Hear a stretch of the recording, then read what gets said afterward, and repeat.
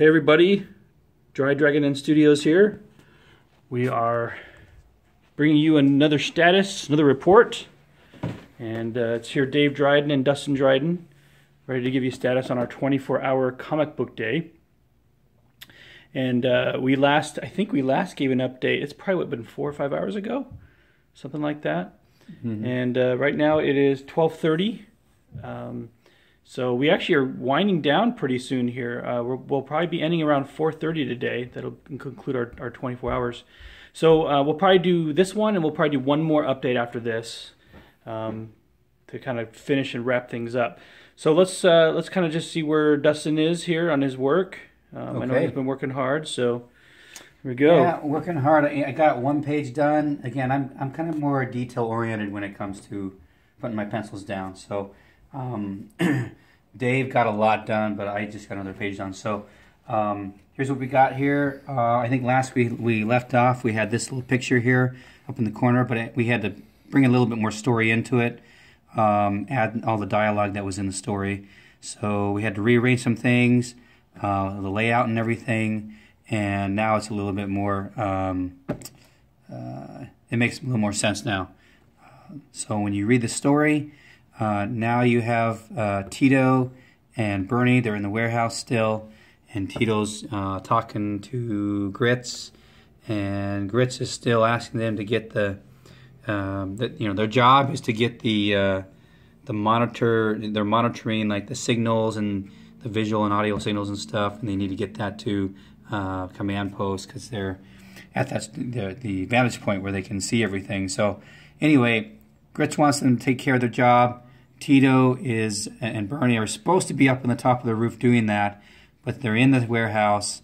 But Tito has, has kind of uh, he configured his device so that they could be in the warm warehouse uh, and and then look at what's going on outside instead of being out there. So what he did is they they made little little kind of statues, little fake false statues of themselves up on the roof, and you know, Bernie thought that he, that Tito's a genius. So that's what he says in this little panel here. I guess it's a whole. That's what the this whole page is kind of talking about how, Tito is um, just a smart little guy, uh, so they can uh, do things uh, easier and smarter. Cool. So, yep. Very good. Here, I'm gonna hand the camera to you. All right, everybody.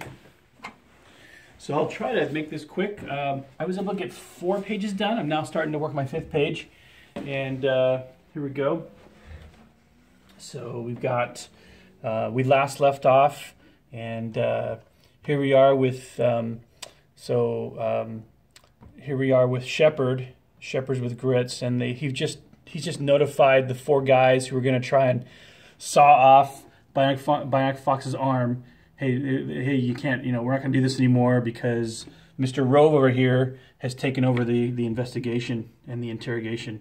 So these guys are walking off real sad. Here's here's uh, one of the guys, uh, little alligator guy with a scalpel knife, walking away sad because he'd spent years studying for and becoming a, a, a surgeon, although never actually got the got the degree and certificate.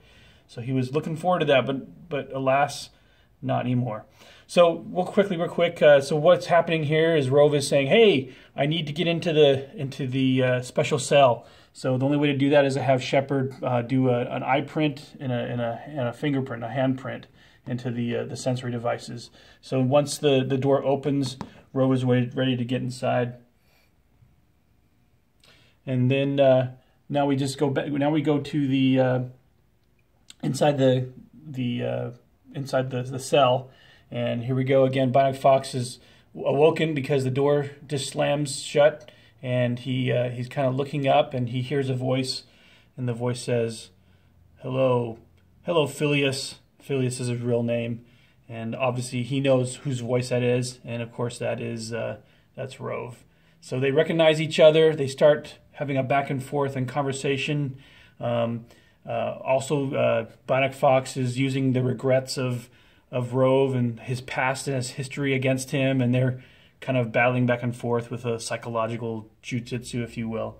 And uh, so Rove just still says, "Hey, look, I've got you here. you know, we've um, you're on the ground. You you're you don't have any of your bionics, so you know what use is it to fight me? We're taking you in. And uh, another picture of him standing over Bionic Fox saying, We've got you, man.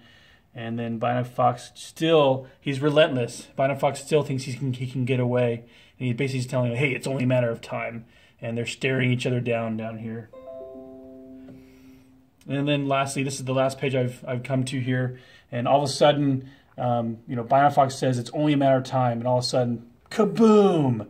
Something happens outside the cell door. Bionic Fox is laughing and saying, see, I told you so. In comes Shepard, says, we need your help, Rove or we, we need your help, Rove. We need every, every man on deck. There's a disaster going on outside, and we have uh, an invasion. And so um, Rove is concerned because Bionic Fox will be left here alone. He says, "Look, I can come help you, but you, you need to have someone to stand guard."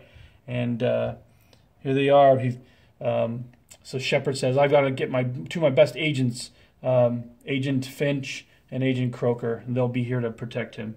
So Rove looks back at Bionic Fox and says, I'll come back for you, Bionic Fox. And then Bionic Fox just grins and says, I don't think so. So there we go. That's how that's how far we've gotten here. Um, I only have about two or three pages left of the of the storyline. Um, we've got about four, three or four, three and a half hours, something like that, before we're done today. So I'm hoping I get it done, but we'll just see. We'll give you an update here in, in a, a few hours. All right. All right. Thank and, you so uh, much for watching and and uh, we look forward to talking to you again in a few hours. All right.